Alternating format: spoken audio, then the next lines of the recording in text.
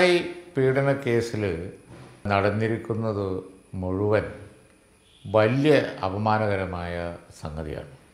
നമുക്കെല്ലാവർക്കും അറിയാവുന്നതുപോലെ ഉടനെ തന്നെ പോസ്കോ വകുപ്പ് ഇട്ട് പ്രതികളെ പിടിച്ച് അറസ്റ്റ് ചെയ്യുക എന്നുള്ള നല്ല സാധ്യത ഉണ്ടായിരുന്ന ഒരു കേസ് അട്ടിമറിച്ച കഥയാണ് പാലത്തായി പീഡന കേസിൽ ഉള്ളത്. ആദ്യം തന്നെ ഒരു ഒത്തുകളിയാണ്.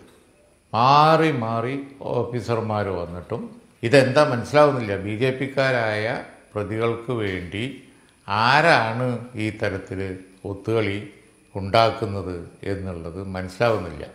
സി പി എം ഭരിക്കുന്നു ബി ജെ പിക്കാർ പ്രതികളായി വരുന്നു പക്ഷേ ഒരു പിഞ്ചുകുട്ടിയെ അതും അധ്യാപകൻ ഇതിലും വലിയൊരു ക്രൂരമായ സംഭവം വേറെ ഉണ്ടോ? എന്നിട്ട് അത് അന്വേഷിക്കുന്നില്ല.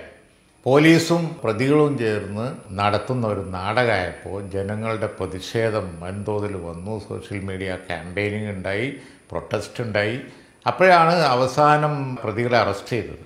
പിന്നെ ഇപ്പം എന്ത് സംഭവിച്ചു? കുറ്റപത്രം സമർപ്പിക്കാതെ ആ കേസ് നീട്ടിക്കൊണ്ടുപോയി.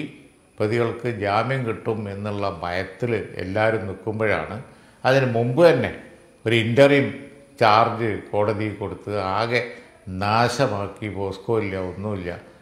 നഗ്നമായ അധികാര ദുർവിനിയോഗം. ഇതുപോലുള്ള ഒരു കേസിൽ വേഗം കുറ്റപത്രം കൊടുക്കാമായിരുന്നത് നീട്ടിക്കൊണ്ടുപോയി പ്രതികൾക്ക് ജാമ്യം കിട്ടാനുള്ള എല്ലാവിധ സൗകര്യങ്ങളും ചെയ്തു കൊടുത്തു. ഇതാണ് ഉണ്ടായത്. പ്രതികൾ സുഖമായിട്ട് ജാമ്യം എടുത്തു പോയി ഇതിനെതിരായി വലിയ പ്രതിഷേധം വരും. ഇപ്പോഴും നടന്നുകൊണ്ടിരിക്കുകയാണ്. ഇനിയും ഉണ്ടാവും. സർക്കാർ ഈ അപമാനകരമായ സ്ഥിതി ഒഴിവാക്കാൻ ഉടൻ രംഗത്ത് വരണം എന്നാണ് എനിക്ക് പറയാനുള്ളത്. ബിഗ് ബ്രേക്കിംഗ് കേരളയുടെ വാർത്തകൾ നേരത്തെ അറിയാൻ ഞങ്ങളുടെ യൂട്യൂബ് ചാനൽ സബ്സ്ക്രൈബ് ചെയ്യുക ഒപ്പം ബെല്ലൈക്കൺ അടിക്കാനും മറക്കരുത്.